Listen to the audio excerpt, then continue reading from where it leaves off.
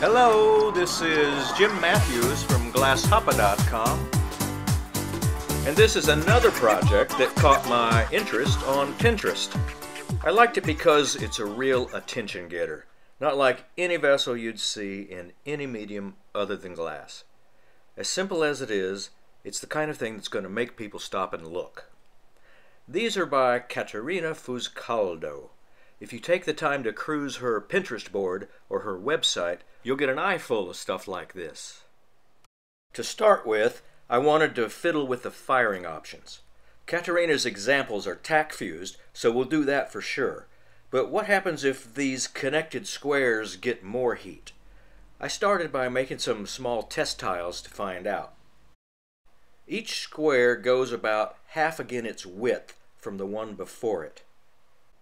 Then each square on the next row goes between the two above it in checkerboard fashion, overlapping on the bottom corners. It forms a cascade of rows, and it's a little tenuous, so you have to be careful, but it's tough to use adhesives because the pieces don't lay flat against each other. Just take your time. I made three or four of these test pieces and fired each one differently. Here's our tack fused result. It went to 1365 Fahrenheit for 5 minutes, and it looks exactly like we expected. That in itself is reason to celebrate. The next one went to 1430 for 5 minutes. See the shape of the spaces, how they're beginning to round up? That hints at the direction this would go, given more heat work still. And look at the little sulfur copper reaction lines where the amber meets the blue. That could be fun. This one I cranked all the way up to 1525 and held it for 10 minutes. See how much the spaces have rounded out? And here's a look at the three side by side. These gave me some ideas to play with, but first, the diced platter. Always a good idea to check your mold before you size your project. This is a 12 inch bowl, and it looks like it will accommodate about a 9 inch square. This kiln shelf is eight and a half inches, just to make sure. I went with three quarter inch squares, two centimeters, and chose the rainbow color scheme since it's Caterina's favorite. As always, there will be a link to the colors used here and my firing schedules on the blog post at glasshoppa.com. Now I know you didn't get to watch me cut all these little squares, but keep coming back. I might release that as special bonus footage in the future. Now here's the finished layout ready to cook. At this point, I noticed a difference between what I've done here and Caterina's example. My edges are square and linear. Hers are zigzag, diamond-like. You'll get the zigzag look by positioning your first pieces like diamonds, point up, and overlapping corners as you go. In subsequent rows, overlap the point of the diamond above, then both the point above and the point beside as each piece goes down.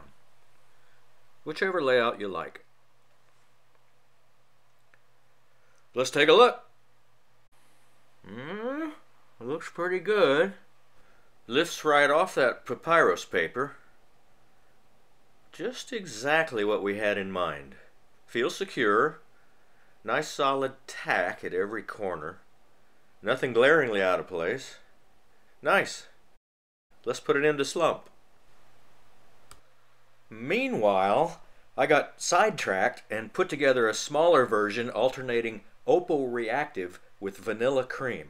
I want to full fuse it, like this one. Here's the firing, much like our test tile. You see the white edge roll characteristic of these high sulfur vanilla named glasses. And of course, we'll see no real reaction until we juxtapose some copper heavy glasses. I chose this peacock opal, placed my prefused creation on top of it, and took it again to beyond full fuse. What I want to see are red reaction lines where the copper and sulfur glasses interface. And there we go. As contraction occurred in the kiln, the holes got smaller and smaller. The red reaction lines are there, but not as pronounced as I'd hoped. Again, the white edge roll makes this much more interesting than it would be otherwise. See the outlines around the circles? Not exactly what I predicted, but then again, it rarely is. Let's take a look at our slumped platter. Nice. Just right. Wonder what kind of colors it'll throw off. Ooh. I like that very much. Thank you, Caterina Fuscaldo, for inspiring this little project.